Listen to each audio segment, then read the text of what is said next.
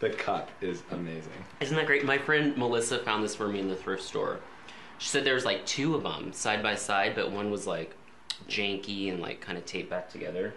Oh, She knows me well. You've been acting for a long time, probably since you were a child, or Yeah, I mean, I wasn't like a child actor really. Um, I really liked acting, and I told my parents that I wanted to be an actor. Um, but my parents wouldn't really let me get into it professionally, so I would just do like theater and stuff growing up um, locally, and did it in high school, and then majored in it in uh, in college, and uh, yeah. and your your sister's an actress as well. Yeah, she's actually she's studying right now to get her. She's getting her master's in uh, education. So, I think she's going to be doing um, a lot of acting, but is also educating. When you started out, was there anyone, um, maybe a co-star or a crew member that was particularly helpful to Oh, you yeah. on set? I- anyone that For comes to mind, like Yeah, uh, Rachel Melvin, um, who played Chelsea at the time, who was who was my love interest, still a, a, a very very good friend of mine. Um, she showed me the ropes over there. Like I remember just being like, "What is going on? Why are there so many lines to learn so quickly?" And it was just, I mean, if you haven't done it, it's it's the most insane schedule I think you can have as an actor. Period um, because y- you know there's no other situation where you have to be memorizing like 60 pages, bef- you know, for the next day, and, and and to have it be you know as good as possible, and like you know to be honest, on those days where you have 60 pages.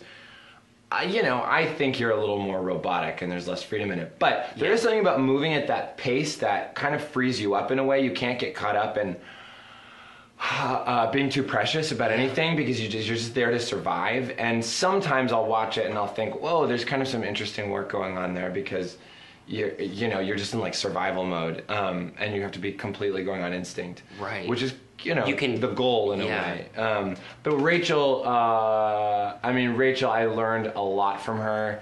Um, she, I could tell right away that um, I was, you know, I was very nervous st- being on a soap opera because I had no experience.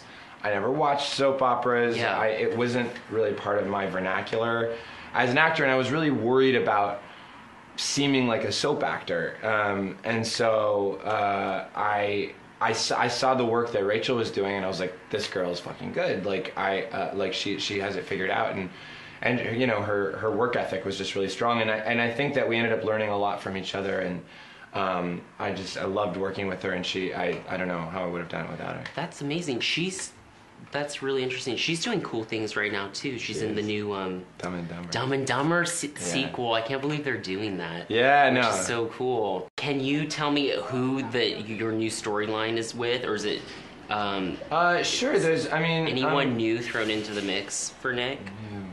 I can say that there's some great stuff with Ali Sweeney Oh, coming up. Yeah. Oh my god, um, that's exciting. And what else I was wondering about Ali Sweeney? I know she's been directing some episodes. Yeah. Have you? Has she directed you in any episodes? Yeah, she has. And what what is what is that like having co-star direct you? I imagine she's fantastic. She's so it's just always cool when I mean actors directors are great. Yeah. And and and, and especially when you're like you know exactly what I'm going through. So there's this instant empathy that you feel that they have for Yeah. you. Um so that's cool. Um, there is like a bit of an adjustment, you know what I mean? And like you're like you're not my peer right now. You're like not that your director is your boss, but they're like kind of you know it's just a different role. So uh, so there was uh, you know at first I think like I I didn't want to. I wanted to make it easy for her because I knew that it, it was one of her first times doing it, Yeah. and so I wanted to be easy. So it's like if you you're like, oh, I don't want to do it, like, but her ideas were great, and um, and sh I felt like really like supported and like loved uh, while we did the scene. So it was very cool. That's wonderful. And who who else in the cast do you think would make a good leader of the ship directing? Man, I think a lot of people would. Yeah. Um, you know who I think is just so cool um, is uh, Lauren Koslow. Oh my god, I knew you were gonna say Lauren Really? Koslow. Yeah. Yeah. She's really she's so cool and so smart. We have we have a bunch of stuff right now too. Oh man, And, she's uh, amazing. And she's uh, she's yeah she's she's brilliant and I love working with her and um, I think I think she'd be great at something like that. That's awesome. As far as like writing, directing, y- you you do write yourself. Um, Yeah. Do you have any projects coming up that you've Yeah, I you've do. written? Yeah, Um, Uh, I have a film that I wrote that um, we're kind of assembling a really cool team. Um, we just uh, attached uh, the actor Brad Dourif, um, you know, who's like Academy Award nominated for One Flew Over the Cuckoo's Nest, Oh. and um, he's one of the stars of Deadwood, and he's in Lord of the Rings. Anyways, brilliant, brilliant actor. He just came on uh, to the script that I wrote that I'm going to help produce, and. Um, our director's in New York. He did this amazing independent film called Forged, which uh, won a bunch of awards. And um, anyway, we're hoping to shoot in uh, New Mexico in April. Um, so that I co-wrote it with a good friend of mine from college, and um, I'm stoked. that's so that's so awesome. You're a Virgo. Yeah. I'm a Virgo. Oh, cheers. 9/11. Oh my god. Edit. Just kidding. Um, what's your timeline at days like I'm not. Paris? sh- I think I'm not allowed to talk about that. Probably not. Huh? Yeah. Um. I can't remember if I'm allowed to or not Okay. yet. You're not sure, I'm not sure. but you're at least there for a, a little while longer, Yeah. right? Nick's causing trouble. He's causing trouble. I hope they don't recast. And oh, if you could write Nick out, like have like an if you could in your fantasy, what would your exit storyline be like for Nick? He would what blow would you his do? brains out. Yeah, right. You'd blow his brain. He'd blow his brains out. Yeah. I gotta ask you. Oh, this is what I'm really curious about, Blake Berris. What's your favorite Tennessee Williams play? Oh my gosh. Do you do you are you, have you read a lot of Tennessee? yeah. I Do mean, fa- do you have a favorite or something that comes to mind? well, I just saw um, the two character play, um, which is a kind of random, unknown, early Tennessee Williams play. Um, yeah. Uh, with Brad Dourif uh, and Amanda Plummer. Um, in New York. Uh-huh. Uh, I saw it a month ago, and um, it's it's definitely. I mean, I also saw Glass Menagerie while I was there. Oh, I love Um, glass. Yeah, it's great. Glass, glass, Glass, is glass, glass, glass. Not that kind of glass, though. Uh, Method. oh, right. Um, no, um, i i it's one of the the strangest. I had no idea what was really going on the whole play. Yeah. It's it's really abstract, um, but those two actors, Amanda Plummer and Brad Dourif, are so genius that like, um, he and they're both kind of so perfect for Tennessee Williams and cut from like the same kind of like alien cloth. Yeah. That um, it was just one of the like most cool theatrical experiences I've ever had.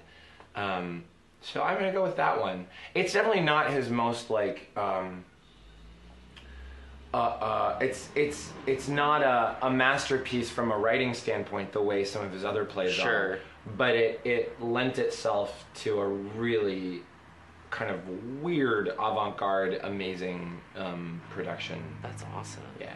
If you could sum up yourself in one Britney song, what song would it be? Non-single. One Britney Britney song. Let's see. Um, Did I throw you for a loop?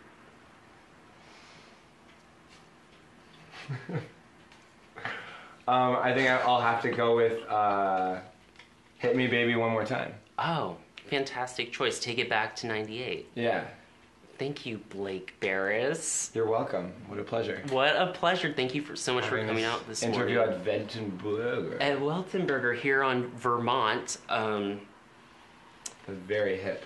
the very hip Vermont. Oh, and before you skedaddle away, I've got this Better Living book. Wow, yes you do. It's sort of beautiful, these photos. I'm just gonna say some of the quotes in there didn't really say. I was wondering um, what's up with that. Like they, there was just maybe some paraphrasing. That, Oh, this is you screenwriting in the shower, Yeah, I'm actually doing it. Yeah, right in the picture. See, they're not even lying. that is true. Um, Peggy McCay's awesome. I read somewhere that Eileen, she was Eileen Davidson's um, uh, acting coach way back in the day. Oh, I heard that too. Isn't that wild? That is wild. and that then, wild. um, I like how I just signed this while we're talking. I do too, and that's a beautiful So signature. when you're really big time, that's what you do. you're a big time. You talk to people and sign at the same time. Um, talking and signing. Yeah, one time at the in the theaters complex, I was in the elevator and there's like Russell Simmons, you know that guy, Yeah. and his daughters or whatever, and then fucking Peggy McCay walks in, and I have my Days of Our Lives bag on, and I'm like, holy shit, it's Caroline Brady. And then she's like having, she needs help with um, she's trying to find her car, and it's weird, and the she was having trouble with the validation, so I was like.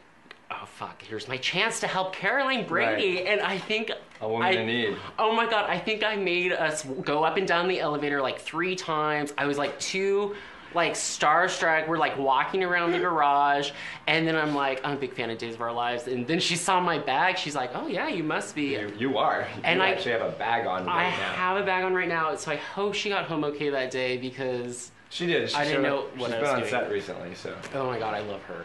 she's wonderful. You're awesome, Blake. Yeah, Thank you so much. totally. This is fun. Thank you for watching Bobby Paradise.